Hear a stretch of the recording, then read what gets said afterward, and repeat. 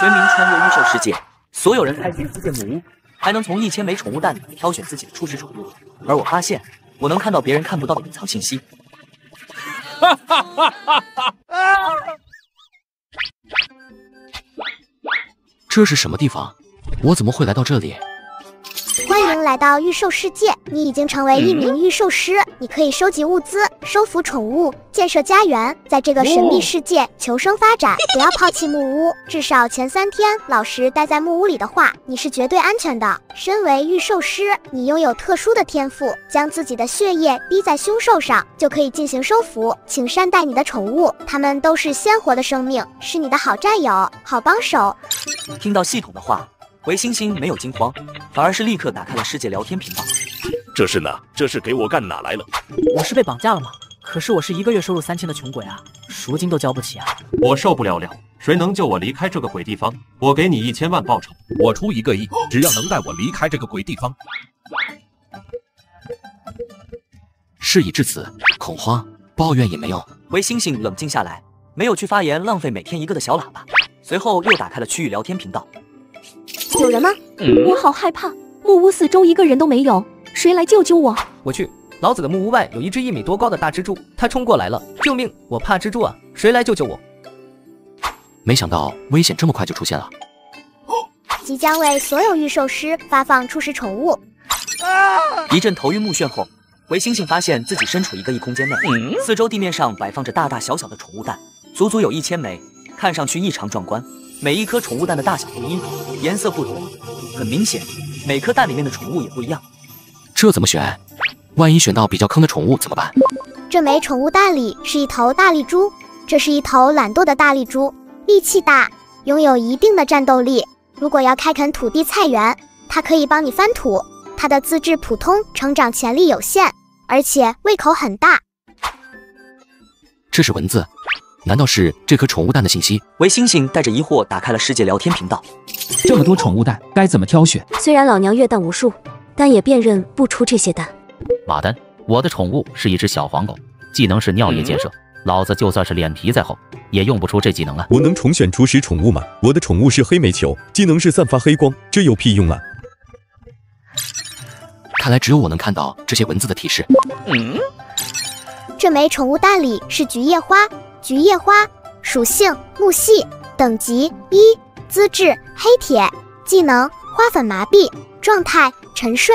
描述性格温和勤劳的宠物，能够麻痹敌人，对植物有一定的兴趣，能够帮你照料花草果树。每隔一段时间会产生一定的菊花种子，可以种植菊花，陶冶情操。我能看到别人看不到的隐藏信息，那肯定要从这一千枚宠物蛋里挑选出最好的一枚。我去，小黄狗，要不起要不起！下一刻，在随后的两个半小时内，韦星星都在不断的忙忙碌碌查看宠物蛋的信息，其中也是有等级达到二级的宠物蛋，甚至也有资质在青铜的宠物。后面韦星星干脆略过等级少于二级和资质少于青铜级的宠物蛋。一百八十分钟后，几乎八成以上的预售师都已经成功孵化出自己的第一只宠物，而韦星星靠着信息的提示，成功在最后几颗宠物蛋中选到了品阶最高的宠物蛋。这枚宠物蛋里是一只火狐，火狐属性兽系火系，等级三级，资质黄金，技能火花火爪，状态兴奋。描述：这是一只即将破壳而出的珍稀火狐，拥有出色的战斗能力以及优秀的成长潜力，重点培养它，绝对不会让你失望。哦。黄金资质，吊打其他所有的宠物蛋，绝对是这一千颗宠物蛋里的特等奖。挑选完毕，请将血液滴在宠物蛋上，完成契约，收服初始宠物成功率是百分之百。小火火，我来了。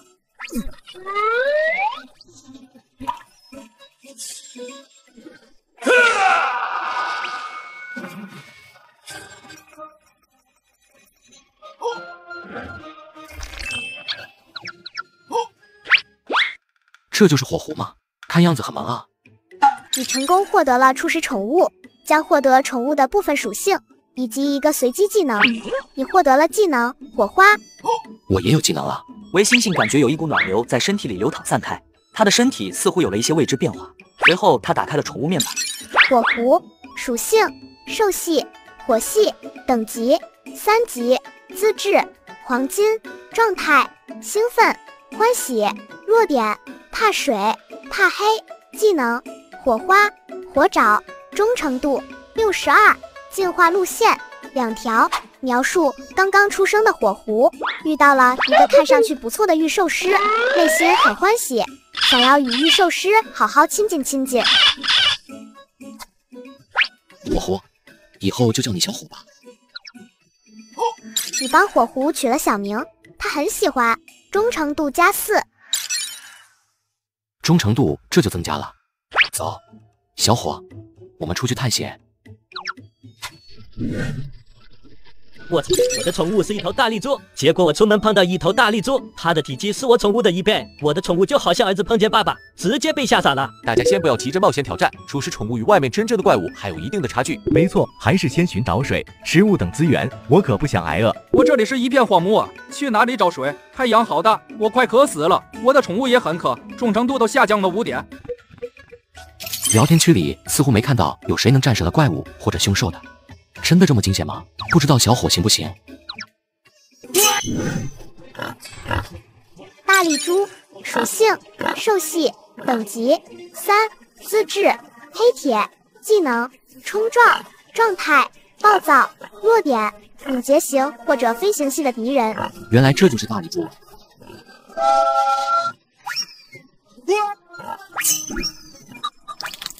小伙，上。表现不错，今天咱们有肉吃了。当别人还在因为宠物等级太低而不敢出门时，拥有超强战力宠物小伙子的我，已经成功拿下了巨型大力猪。本以为这已经是最大的收获，没想到不远处一个小光头下才是最大的惊喜。那是什么东西？恭喜你！发现一个宝箱，打开它，或许能发现一些小惊喜，当然也有可能是惊吓。每一位御兽师每天都可以开启三个宝箱，这是一个木宝箱，里面有水、一些资源以及一张图纸。让维星星感到惊喜的是，他竟然能直接看到箱子里的物品信息。木箱可开启，食物有了，水也有了，最基本的饮食问题解决。还得到一张烧烤架图纸，妙啊！随后，维星星学习了烧烤架制作图纸，并查看了建造烧烤架所需的材料。前面的都是一些基础工具，而刚刚学习的烧烤架制作图纸则是出现在了最底部。眼看材料不够，维星星决定先制作一个木桶来装水。木材减三，普通木桶制造成功。我还需要更多的资源，倒是可以去交易区看看。可是我手上木材不多，谁也不多，唯一能拿出来的资源。是否分解？六十份猪肉，每份大概两三斤，留下十份，其他的可以都拿去交换我所需要的资源。铜块和铁块比木材要稀有，而为星星是一块肉换五单位的铁块和铜块。交易成功的话，两块肉就能够凑齐烧烤架制作图纸所需要的材料。据传，而此时的聊天频道依旧是惨绝人寰。充斥着御兽师们的哀怨声。我好渴，宠物逃跑了，我不敢出去。谁能给一口水我喝吗？我好了，大家都找到吃的没有？这些植物我也不认识，不知道能不能吃。万一吃坏肚子就难受了。我操！我看到了什么？交易区有大佬直接上带了五十份猪肉，足足五十份新鲜猪肉啊！天啦！我在啃草，大佬居然已经开始出售猪肉了，我好想买一份，可是我没有铜块和铁块。世界聊天频道开始沸腾，大片的震惊，还有人求为星星赏一块肉。承诺各种报酬，已经交易到足够的材料了，可以制造烧烤架了。先回去制作烧烤架，打造成功。加入一木材可运行三十分钟，加入一煤块可运行一小时。接下来是烤肉，味道不错。但是没有调料，还差点意思。维星星心神一动，再次打开了交易区，又单独挂了一块肉，备注换成了调味料。立刻就有一条私信传来：大佬，你看这个行不行？我刚才太饿，已经吃了一个，还剩下一个。桑咸果，轻轻摇晃就能落下一些味道奇异的粉末，能够下饭，无毒无害。好，我要了。多谢大佬，多谢大佬赏肉。韦星星拿着桑蚬骨在烤肉上轻轻一鼓，就有一片粉末洒落而下。没过多久，就有一股迷人的浓香刺激气味，让一人一受苦水疯狂分泌，瞬间开始了干饭模式。你的宠物享受到美味，无比愉悦，对主人心生崇拜，忠诚度加四。真是个小吃货，幸好还有很多猪肉。目前已经卖出了二十八份猪肉，除去制造烧烤架消耗的铜块，现在我有八十六块铁，四十六块铜，已经很多了。反倒是木材快用完了。于是维星星将交易区上的猪肉修改了一下，在需求里添加了两个备选。经大佬修改了需求，增加了两个备选。我哭了，刚才为了交易一个铁块，我把手上的木材和石块都卖了。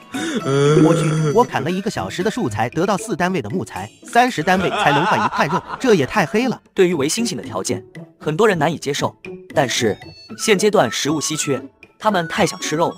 你不愿意换，有的是人愿意。很快，交易成功的信息再次弹出。干，怎么卖完了，一份肉都不剩了？你们就不好奇，维星星大佬哪来的这么多猪肉吗？我们现在宠物的等级太低，根本不是野外凶兽的对手。难不成维星星大佬击杀了一头大野猪？不可能，我是一名特种兵，我和我的宠物极力配合，也无法战胜一头大野猪，还身负伤势。你们说会不会维星星的宠物是一头大力猪，然后他把自己的大力猪给嘎了？当即，在其他玩家还在因为食物资源等问题而苦恼时，我反手将刚刚捕获的大力猪肉上架到交易大厅上，瞬间引起一片轰动，大片预售师都想不到大佬。直到一个大聪明提出这样一个疑问：不是为猩猩残忍，如果换作是你我饿到发昏，恐怕也会对自己的宠物下手，这就是人性。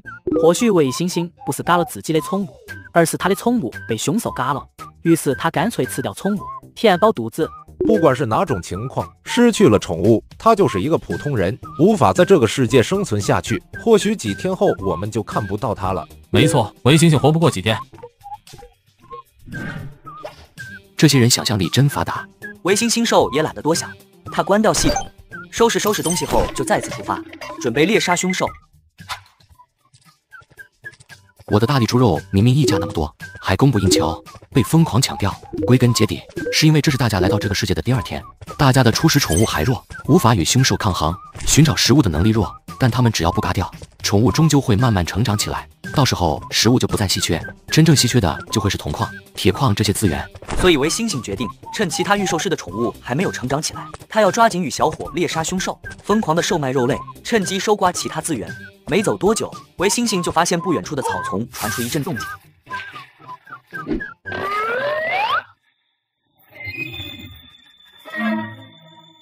一只三级的大力猪，还是大力猪好，实力不强，肉多还香，备受欢迎。小伙上。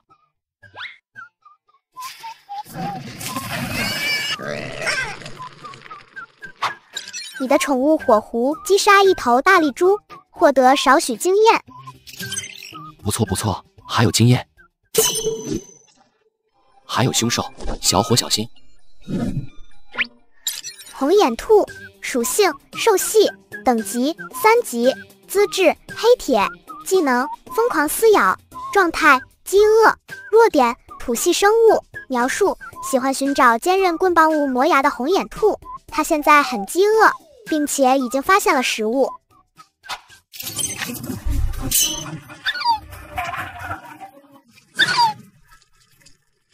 火花这个技能对毛发旺盛的动物效果更好。你的宠物击杀一头红眼兔，获得少许经验。你的宠物火狐等级提升到四级。你的宠物火狐在战斗中有所顿悟，技能火花威力提升，升级了。不仅等级提升，火花的威力也更强了。这就是黄金资质吗？维星星一脸笑意，小伙的实力提升之后，打三级凶兽会更加轻松，甚至可以去挑战四级凶兽了。不过在此之前，维星星决定先将猎杀的大力猪肉和红眼兔上架交易区，先将大力猪肉全部拿去出售看看吧。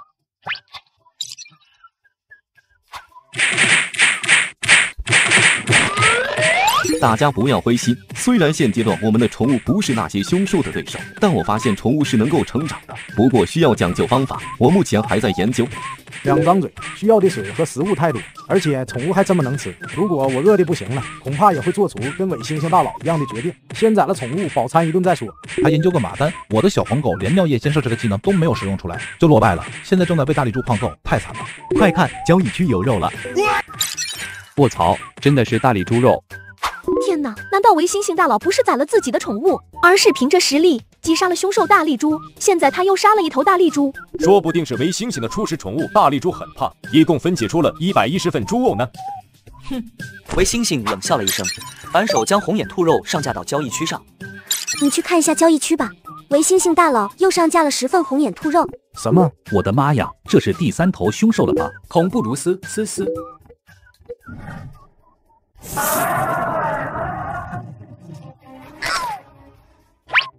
干得漂亮，又击杀了一头三级凶兽。宝箱，铜宝箱比木宝箱高一级，打开后的收获高于木宝箱，但也有可能是更大的危险。这个铜宝箱内有一些资源，以及一张灵能装备图纸，没有任何危险。铁块加五，石块加十，精良的灵能匕首图纸加一。是否学习精良的灵能匕首图纸？学习。为星星打开制造页面，一排合成列表出现。为星星直接滑到最下面，就看到了灵能匕首的相关情况。这是一件灵能装备，具备神奇的力量，杀伤力是一般兵器的数倍，能够为你披荆斩棘，猎杀凶兽。看描述，这匕首似乎很厉害，而且火狐的两条进化路线中都需要火灵晶。我偶尔观察世界聊天频道，也从没看人提起过火灵晶，这应该是比铜和铁更高级的材料。去交易区上试试。维星星在这两样物品的后面添加了一个新的备选。火灵晶，那是什么？一颗火灵晶就能换一块肉啊！谁有火灵晶？不知道啊，没有啊。看来世界频道里也没有我需要的答案。你才刚吃多久，又饿了？看来使用技能战斗的确非常耗费体力，需要补充能量。还有，宠物升级或许也有很大的消耗。走，回去给你烤猪肉吃。来，喝口水。吃好喝好后，唯星星和小伙离开小木屋，继续寻找猎物。不一会儿，唯星星就找到了一个合适的目标。野狼兽，属性：兽系，等级四，资质：青铜，技能：铁爪，撕咬，状态：健康，冷酷，弱点：无明显弱点。描述：一头实力不俗的野狼兽，非常适合御兽师初期的宠物，各方面都出色，没有明显的短板，但前提是能收服它。小伙，这次我跟你一起作战。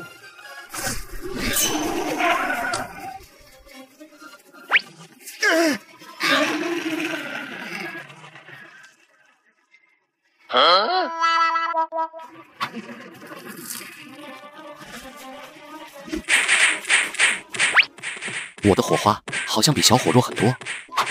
御兽师收服宠物后，能获得部分属性，获得的技能威力也只有宠物的一部分。御兽师可以让宠物以灵纹附着在自己身上，如此就能获得该宠物的所有属性和能力，大大提升御兽师的生存能力。还可以这样。小伙还在与野狼兽战斗，维星星在远处观战，时不时用嘴发火花进行干扰。在二打一的情况下，不一会儿野狼兽就败下阵来。你的宠物火狐击杀一头野狼兽，获得少许经验。维星星把刚才击杀的黄皮蛇和这头野狼兽全部分解，准备挂到交易区上继续售卖。分解后，维星星发现，同样是凶兽，有的凶兽身上的材料更有价值，其中野狼瘦肉的营养价值比大力猪肉还要好。野狼瘦肉蕴含丰富的营养，能够改善体质、强壮体魄。黄皮蛇胆含有毒素，能够麻痹神经。哦，在了解了这次物资的信息后，韦星星打开交易大厅，将野狼瘦肉和黄皮蛇肉都只上架了一半，剩下的一半留着吃。毕竟不能一直吃猪肉，总得换换口味，丰富一下营养。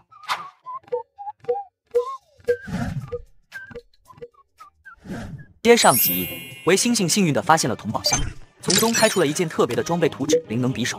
发现火灵晶的重要性，反手将刚刚击杀的野狼兽肉挂在交易区上，寻求火灵晶。没想到还真有人有火灵晶，而且还是一个漂亮的妹子。有什么好商议的？我想知道火灵晶有什么用。不知道。哼，维猩猩并不打算告诉他，而且不知道池雨薇的手里到底有没有火灵晶。如果只是来套话的，维猩猩不可能白白说出情报。我想换两块肉，只能换一块肉。不过你是第一个拿出火灵晶的人，我可以免费赠送你一份吐血，三百毫升。大力猪肉交易成功，火灵晶加一。随后，为星星单独加了池雨薇的好友。你将三百毫升吐血赠予好友池雨薇。打开制造面板。精良的灵能匕首打造成功。这就是灵能匕首。好锋利！添加火灵晶能够激发精良灵能匕首的真正威力。走，小伙，继续狩猎。今天还能开启最后一个宝箱，希望能有所收获。这个铜宝箱内有一些资源，以及一张灵能装备图纸，没有任何危险。维星星不打算现在就打开宝箱，现在离天黑还有一点时间。他想再寻找看看，然后从中选择开启价值最高的一个。在这个过程中，总有很奇葩的凶手，但是都被维星星和小伙跑掉。同时，维星星也发现了一个重要的问题，就让我看看这宝箱能存在多久。很快，维星星和小伙又投入了寻找宝箱和击杀凶兽的旅途当中。A few moments later，杀了八头凶兽了，夜晚也快到了，晚上我们就不行动了，好好休息。铁宝箱比铜宝箱高一级，打开后的收获高于铜宝箱，但也有可能是更大的危险。这个铁宝箱内有不少资源以及两张灵能装备图纸，但宝箱表面有毒，请小心。发现更高级的宝箱了，不过三眼珠属性：虫系、毒系，等级五级，资质青铜，技能。喷吐蛛丝，蛛网盘绕，状态等待猎物，弱点怕火怕水。描述：这是一只凶残的三眼猪，它已经编织好自己的陷阱，等待猎物上门。夜晚的时候，它的战力更强，而现在马上夜幕，请小心。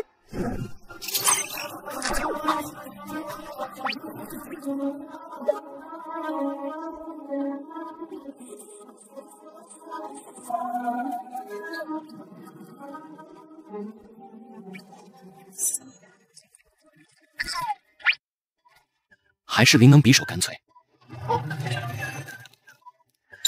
你与宠物火狐击杀了三眼猪，获得少许经验。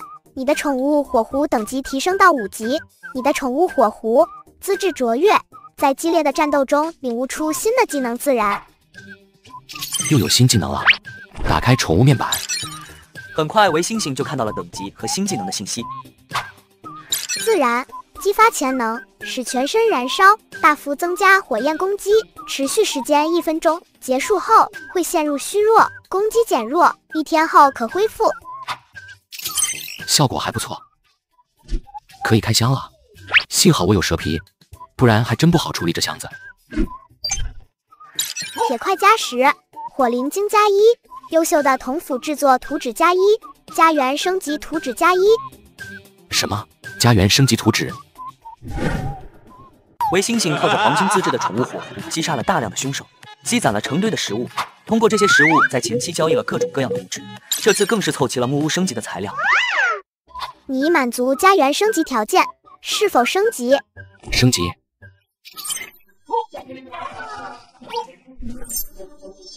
木块减五十，石块减五十，铜块减三十，铁块减二十，土灵晶减二。家园升级成功。这房子看着才气派。天色也黑了，这里的夜晚冷冷清清。估计会有不小的危险。什么动静？夜晚果然危机重重，幸好有这三天的新手保护期，反正凶兽进不来，还是好好睡一觉，明天继续狩猎。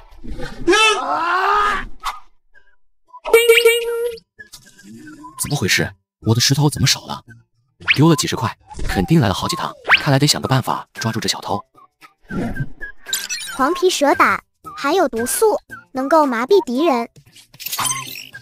接下来就等鱼儿上钩了，先买点肥沃的土壤回来种植植物。忙活了半天，终于都种植完了。维星星从交易区交易了一些肥沃的土壤，将水稻和大米种子种植在了院子里。没一会儿的功夫，便长出了秧苗。这里的植物跟蓝星上也有点不一样，不知道多久才能成熟。优秀的稻谷，距离成熟还有六天。优秀的玉米苗，距离成熟还有十天。这么快？这样的话，不需要过多久，我就会有一大堆农作物了。几天后就能吃米饭、玉米了。鱼儿上钩了吗？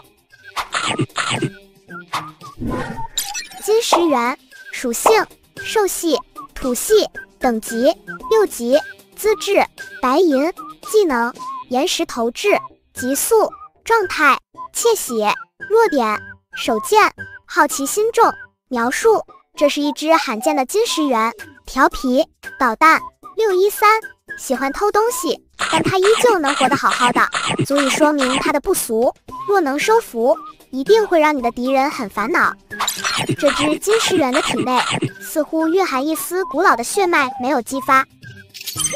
六级白银资质，臭猿猴，居然敢偷我的石头和肉，快留下！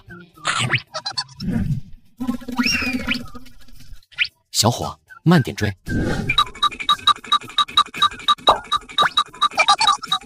这家伙好欠揍，吃了我的黄皮蛇胆，看你还能得意多久。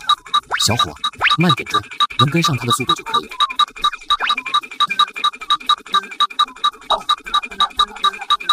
毒效发作，看你还得意。小伙，准备好战斗。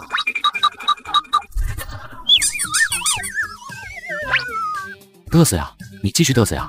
偷了我的东西还想跑，哪有那么容易？不过这头金石猿资质这么好，杀了可惜了。不如